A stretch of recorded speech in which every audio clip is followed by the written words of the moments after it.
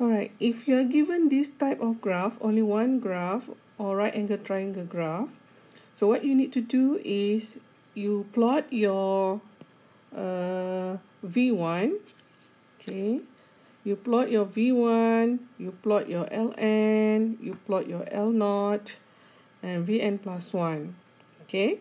So the next thing for you to do is to make sure that you draw the reference point okay? So to draw the reference point you need to draw a straight line from L0 to V2 uh, V1 and extend the line okay? And then from Ln to Vn plus 1 so you extend the line.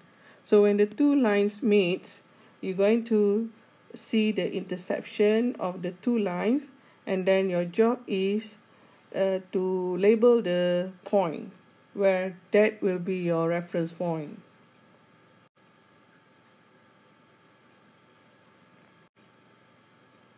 So now we have connected the uh, L0 V1 line with Ln Vn plus 1. So now you are going to have a reference point here.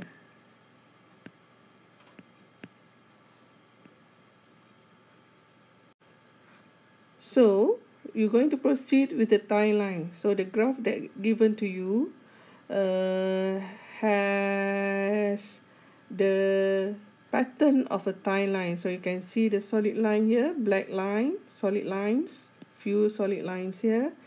So this is the duplicate tie lines that you have for for a system. So because you don't have the below graph, okay, you're only given one graph. So what you need to do is to take a look at your v1 because you need to know where's your l1 okay? So your job is look at this shape. So the, v, the v1 is inside of this partic this particular two lines. Okay? So now your job is just to draw a straight line okay?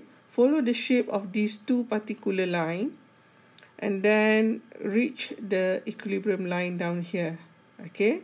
So that will be your L1 all right okay so let me show you.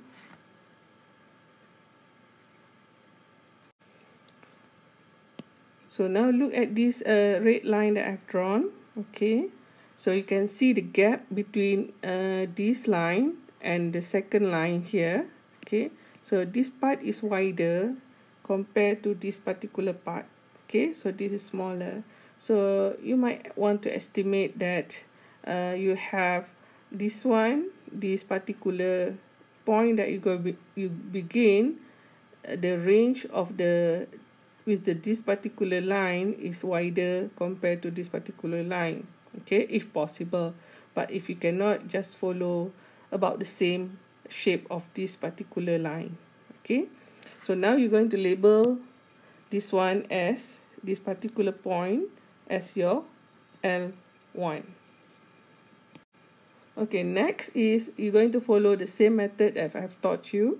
Okay, just connect your L1 to reference point. Okay, now I have drawn the next line, which is from L1 to reference point here. So the position where it is intercept the equilibrium uh, curve will be your V2.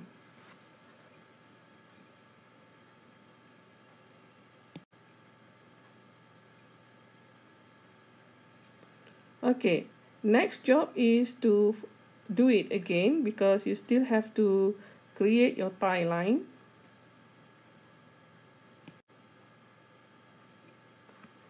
And then you need to refer your V2 now here. And it lies between the, the given tie line here.